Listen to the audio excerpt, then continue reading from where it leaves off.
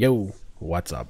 And for the last few days, I've been working on my personal favorite build, Arakaali Champion. So the footage you're seeing in the background is all my practicing of Uber Pinnacle bosses. This build, you know, kind of dumpstered all of them. I had a couple goals I wanted to do with an End League build. So one of them is that I've mentioned that Pinnacle bosses are my weakest part of my gameplay because when I fight them, I kind of panic. So I wanted to practice them. And two, Arakaali Champion was nerfed from last league to this league. So last league we had alternative gems, we had Ashes of the Stars still, but this league, we don't have those. They were replaced by Transfigure gems, and there are no Transfigure gems that work with Arakaali Fang in any meaningful way. So without Ashes and, you know, the alternative gems, I just wanted to see, can I make it work? Then I wanted to try to make it work next league without Charms. So I built this character, one, really expensive. This is like a 400 div build, but obviously I'll talk about how you can make it cheaper but I also wanted to future proof it. I wanted to be able to play this next league without charms or specters and just be like, yep, I still have, you know, at least 22 million damage, 200,000 plus effective hit pool, and mission accomplished. That's what this build guide is pretty much about. So as usual, let's just rattle off a couple quick questions. You know, what is this good at? What isn't it good at? And some things I learned along the way. So the only boss I didn't really like doing was Searing Exarch. Now, if you didn't know, I play hardcore trade 90% of the time. I've been playing hardcore trade for like eight years now.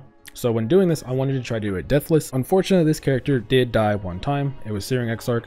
I was practicing the ball phase and I just didn't look at my flask charges and I was out of flask charges. So I was practicing how much I could tank, ran in, didn't have flask, died. But the other reason why, you know, Searing Exarch wasn't great was because the spiders count as a living object. So if you've ever done it with specters, you'll know what I mean. Basically, they can eat the balls. So this is a good thing and a bad thing. On one hand, you can send them with your curse and have them, you know, go block a wall and they take they take no damage. So they just stand there and they just eat them and they just be like yo what's up? The bad news is that if you run too far then they'll just respawn on you detonate all the balls around you and then you just spam your life flask and hope you survive. So it's the only boss that was definitely like kind of cringe but all the other bosses you know i just swapped melee splash or melee fizz depending on the situation and it melted all of them so I failed on the deathless, but uh, you know, I learned a lot, so I was happy. So if you're wondering, can this MF, can it do the affliction league mechanic and all that stuff? Yes, of course. It can giga juice everything, deathless, pro no problem. Just put in a Defiance of Destiny. I'll have three different trees for different situations. Bossing, mapping, and then Magic Find. I POB'd Magic Find about two and a half weeks ago when I was looking for builds. And the numbers make sense, but I didn't test it. Um, sorry, I'm out of time. The gauntlet's tomorrow, so I gotta go prep for that. But it's there if you wanna, you know, try it or experiment yourself.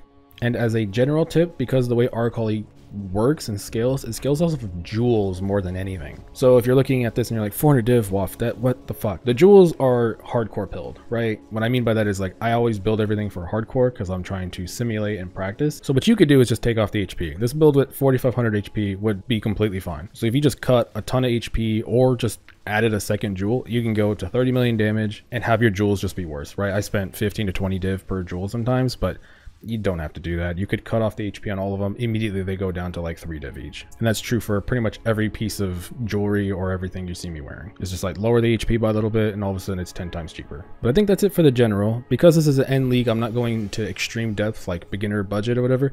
That'll be next league. I'll do that um, as a league start maybe. But for right now, this is just end league. So we're just going to talk about end league stuff. Now, with all of my build guides, I will talk about like pad and stuff like that. I, I fucking detest pad. I hate it, so I will break down why this isn't pad and you do have 25 million damage real quick. But um, I do want to talk about one thing about Arakaali Fang that I think, I don't know if a lot of people know. So every about, I think it's 8 seconds, if you look on the ground here, you see this black stuff that pops up. It's when Desecrate despawns. So this is a set timer. I'm pretty sure it's 8 seconds and it disappears, right? So you just need to time when you spawn Arakaali Fang around that.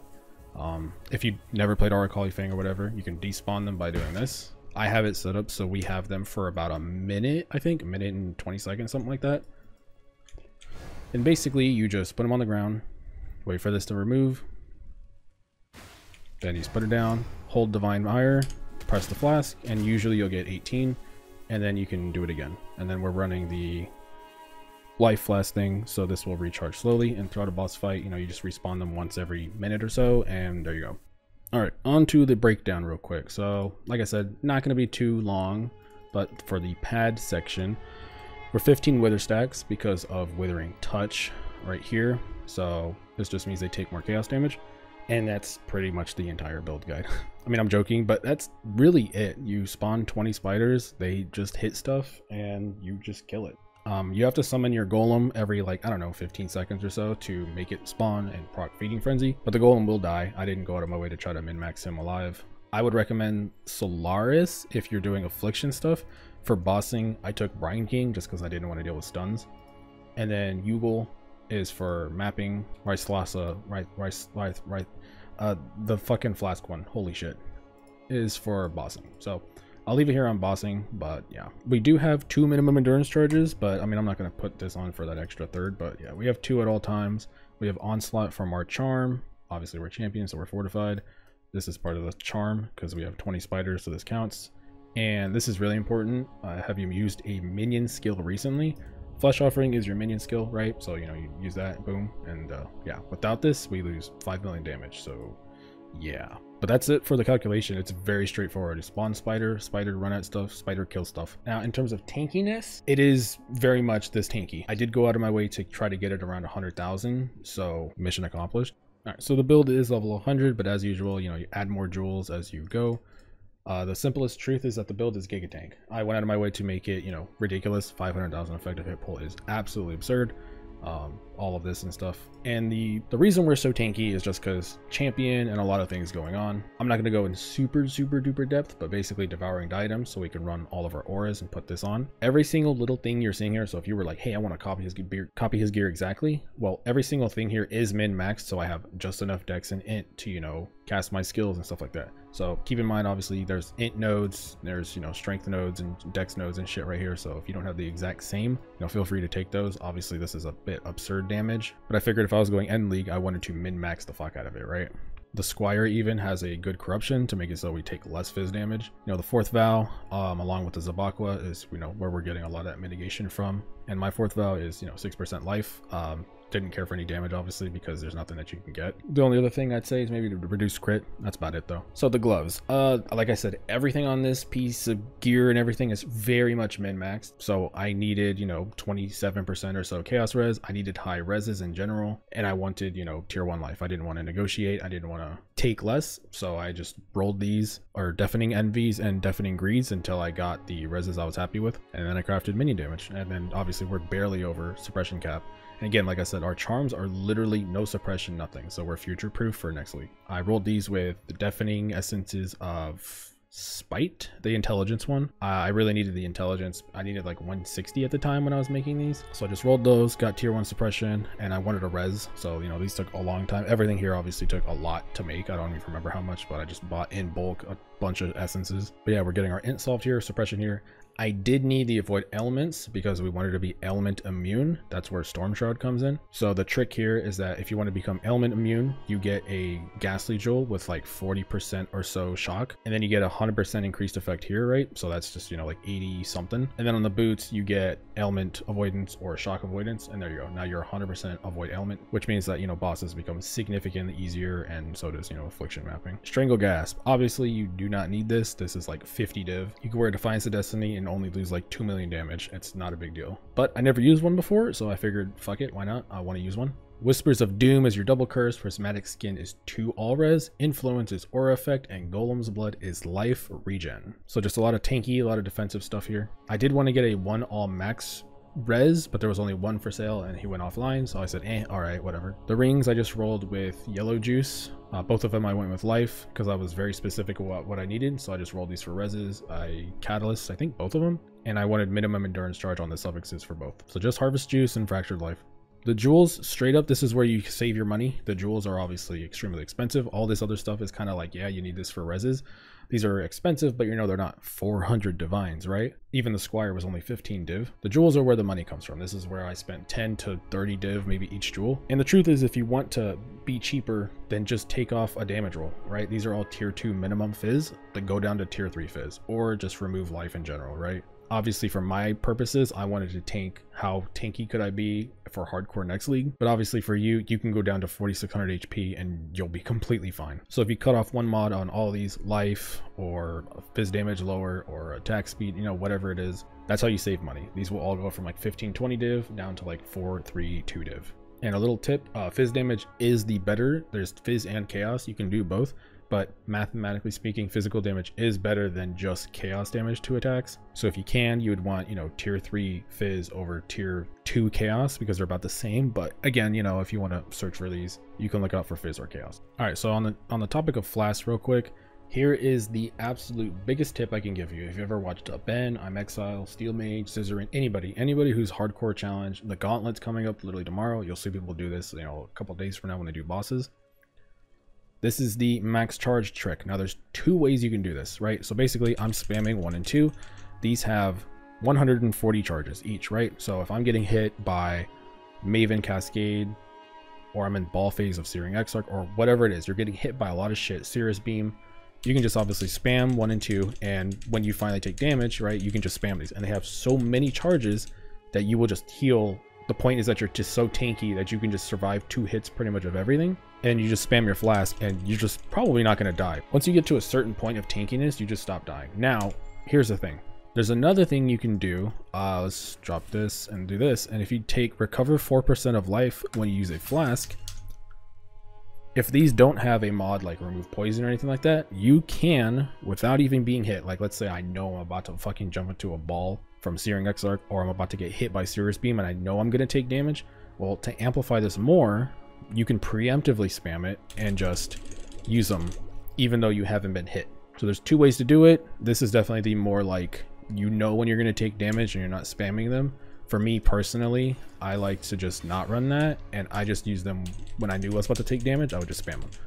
But that's the trick. This is how people tank stuff when they're playing Jug and they're tanking uh, Uber, Searing Exarch, and, and Sirus and stuff like that they do one of these two versions and it very much does need to be just instant flask. But this is how um, even though i was like i probably should die here i would just you know spam the flask and there you go.